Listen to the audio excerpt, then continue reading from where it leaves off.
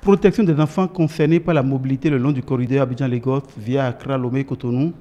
C'est l'objectif du projet de protection des enfants migrants le long du corridor Abidjan-Lagos, Coral en acronyme.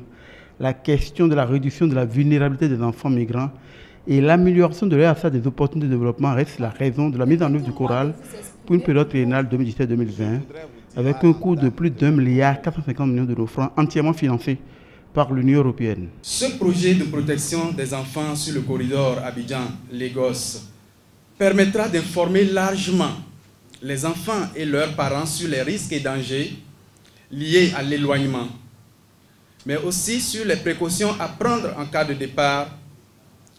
Il donnera l'occasion de renforcer les connaissances des gardes aux frontières et des services d'aide aux enfants.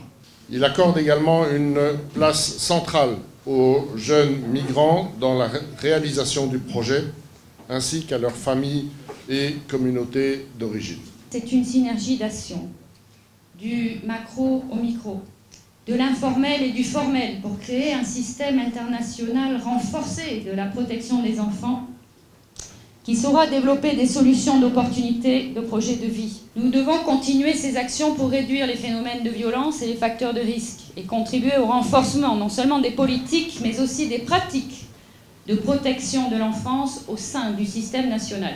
22 localités ciblées dans les 5 pays retenus sont particulièrement concernées par ce projet qui vient consolider les acquis du précédent projet régional, période 2013-2016, toujours financé par l'Union européenne.